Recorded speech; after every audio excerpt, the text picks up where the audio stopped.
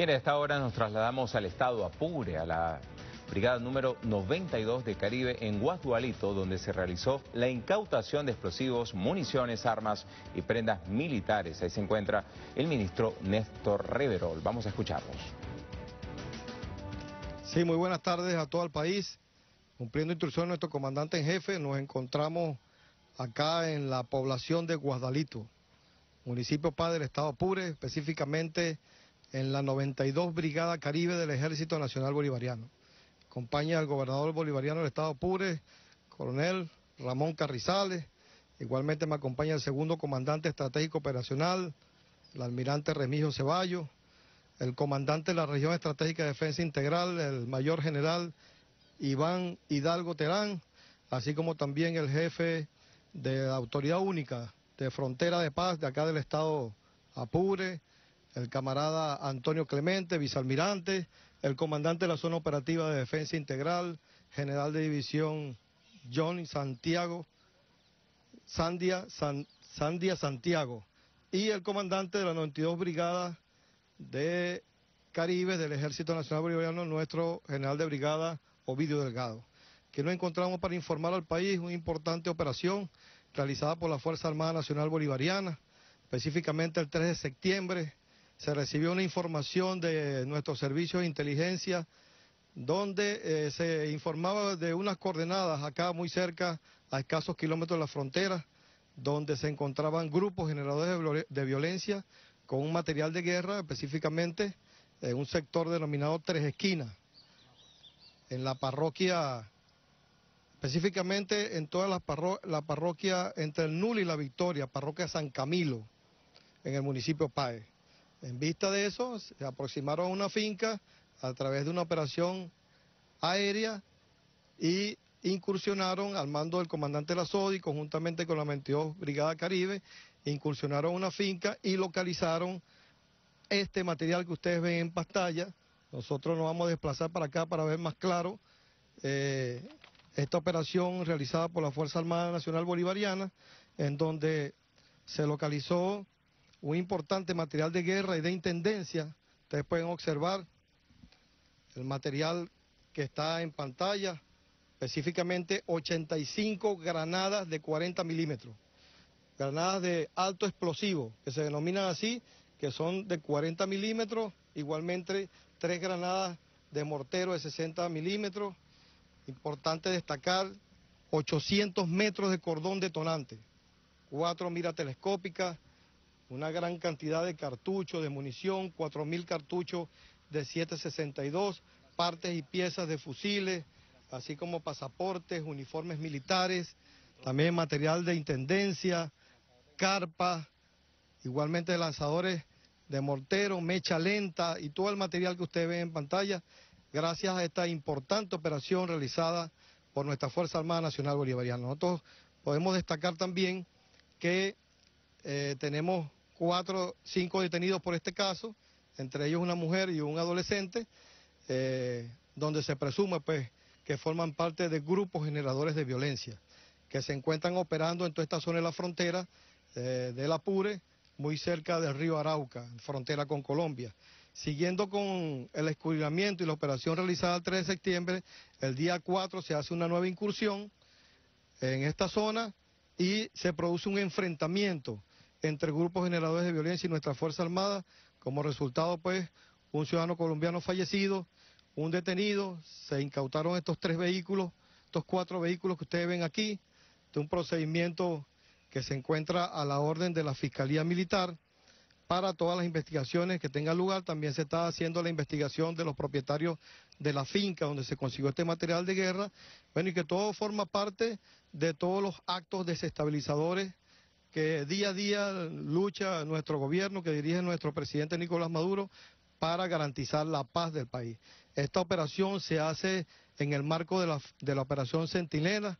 lo que llamamos la frontera de paz, y todas las operaciones que realiza nuestra Fuerza Armada Nacional Bolivariana a lo largo y ancho del territorio. Nosotros queremos confirmar y ratificar nuestro compromiso de que seguir haciendo todas las acciones que sean necesarias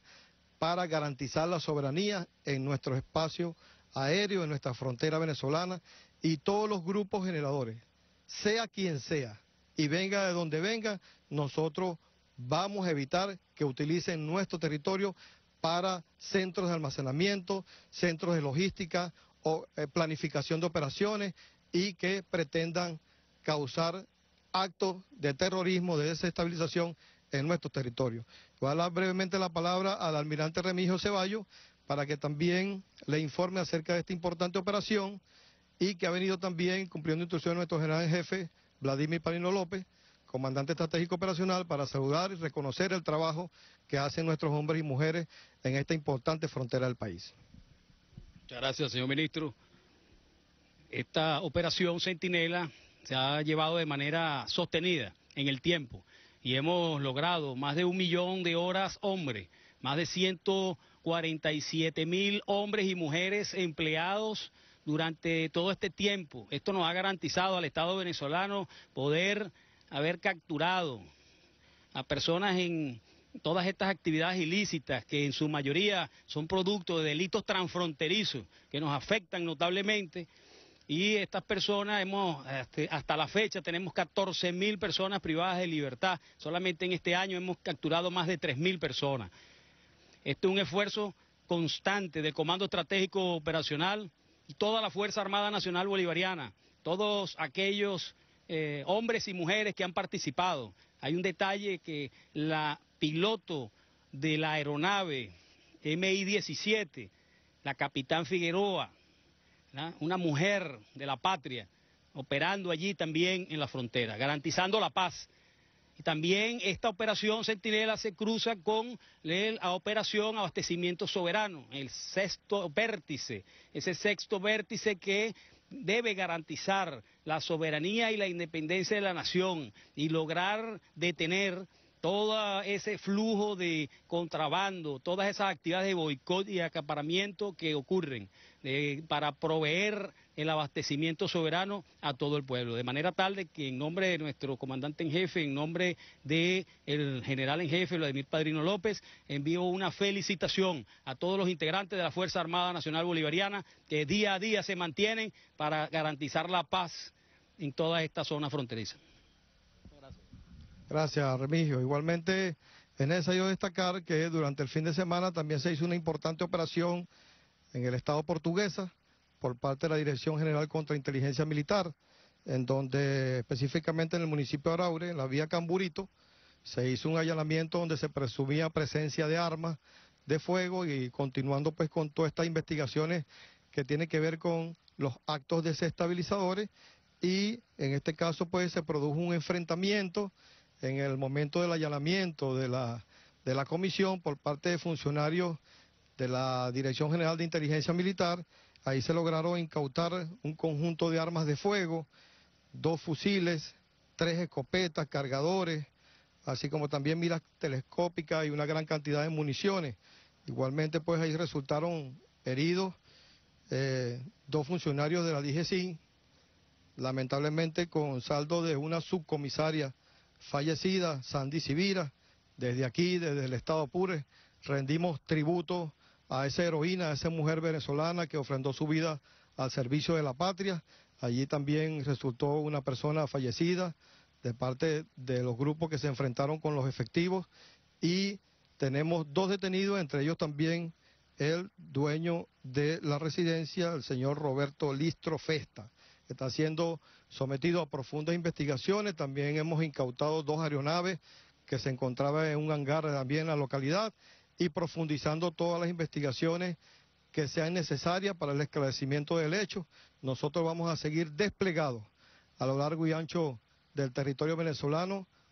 siempre garantizando la estabilidad democrática de nuestro país, siempre nuestra victoria es la paz. Nosotros estamos desplegados a lo largo y ancho del territorio nacional. Cuerpos de policía, todos los cuerpos de policía, toda la Fuerza Armada Nacional Bolivariana y desde aquí, repetimos, no vamos a aceptar que ningún grupo generador de violencia, venga de donde venga, sea quien sea, vamos, va a utilizar nuestro territorio, la patria de Bolívar y Chávez, para crear actos de desestabilización. Muchas gracias y muy buenas tardes. Bien, escuchaban ustedes el reporte del ministro de Interior, Justicia y Paz luego de operativos de seguridad desplegados en el estado portuguesa. Vamos a